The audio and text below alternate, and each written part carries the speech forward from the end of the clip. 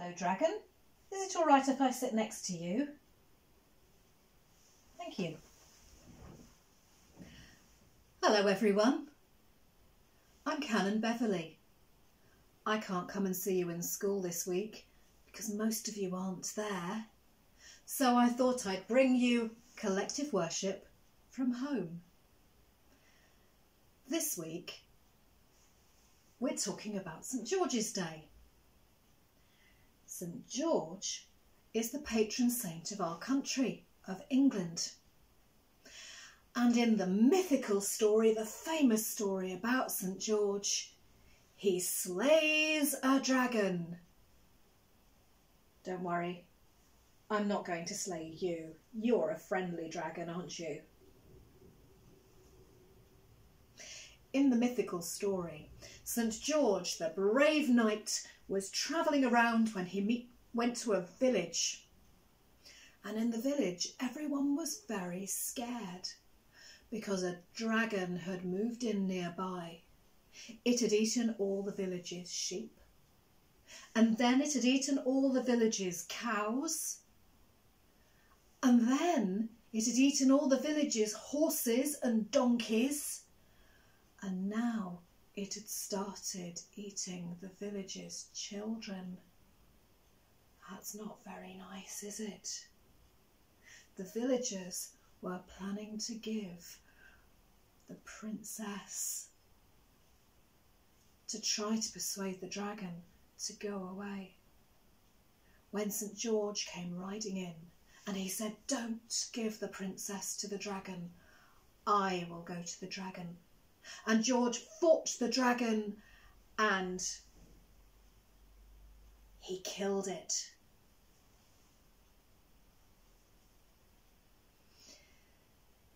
The real St. George was a Roman soldier who became a Christian, like me. Except that for St. George, being a Christian wasn't allowed. And so he had to fight for it to fight for his faith. And he was killed for it. So the real St. George is as great a hero as the one in the legends. There are lots of legendary stories about brave knights and dragons. There's even a story in the Bible about a terrible dragon that fills people with fear the brave knight in the Bible that fights the dragon is called St. Michael. He's an angel.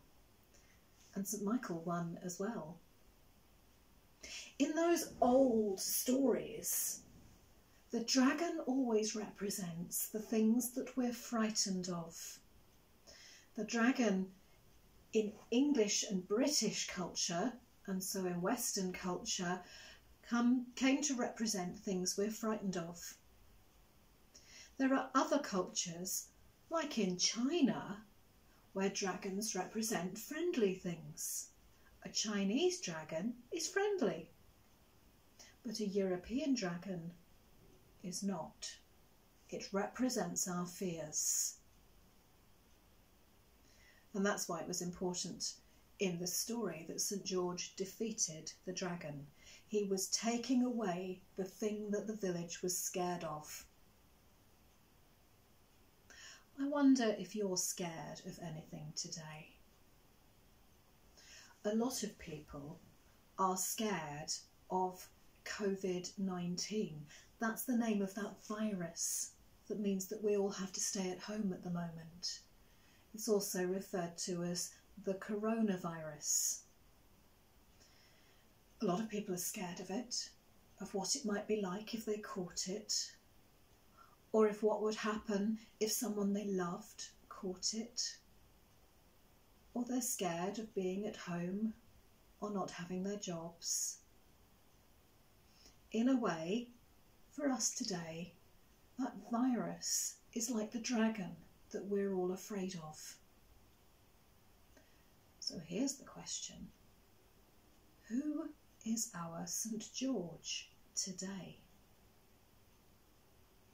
In the story of the coronavirus, perhaps St. George is the person who's going to slay the dragon. So that might be the scientists working hard in their laboratories, looking for a vaccine and a cure, something that will stop the virus from hurting us.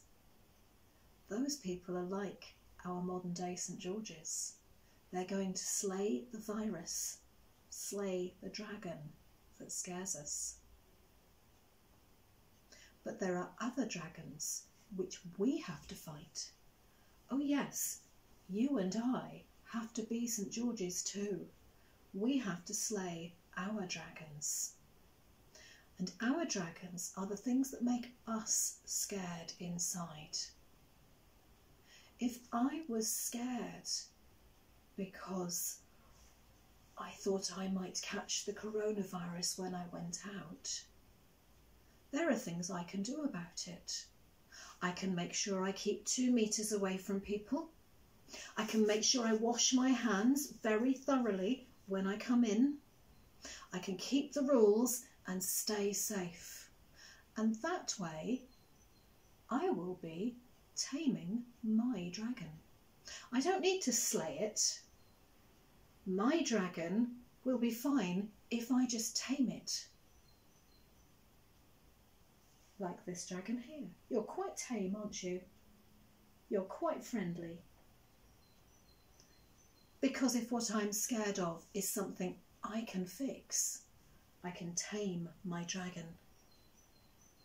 I can discover that living in isolation isn't so scary after all. There are lots of things that scare us. Spiders, getting low marks at school, big cars, loud noises, being in the dark. Lots of things frighten people, and they're like dragons, things we're scared of, but we can tame them or we can slay them. We can make them go away or we can make them our friends. We can discover that being in the dark is all right. Actually, it quite helps us get to sleep. We can discover that being on our own isn't so bad either, because we can play and use our imagination just as well by ourselves, and we can call up our friends and talk to them still. What are your dragons right now? I want to ask you to be St. George. Wrap yourself up in the armour that makes you a George. Perhaps you can wrap yourself up in a flag, the George's flag, like this. Make yourself brave. Tell yourself, I'm not scared of the dragon. I can tame it. I can tame it by washing my hands, or by phoning my friend, or by asking for help, or I can ask somebody else to help me make it go away. This week, if you pray, if you, like me, believe in God, perhaps you can be a St. George of prayer praying for dragons to go away or be tamed. Most especially, will you pray for the real life St. George's working in laboratories looking for a way to slay the dragon of the coronavirus? I'm going to say a prayer now. If you believe in praying and agree with me, Perhaps you could say Amen at the end. Dear God, please bless all the scientists working in their laboratories. Please give them wisdom and insight and help them to find a cure and a vaccine for the COVID 19 coronavirus.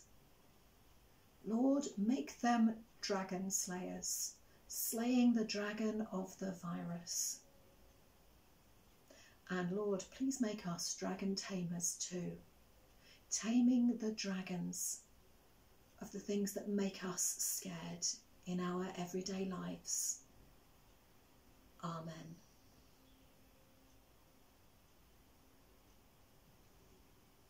Well, my dragon's quite tame.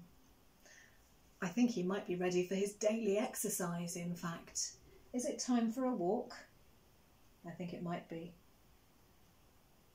It was lovely to see you. I hope I see you again soon. Take care and stay safe. Bye bye. Come on, dragon. Let's go and get that exercise. Oh, my goodness, you've put on weight. Have you been eating all that Easter chocolate?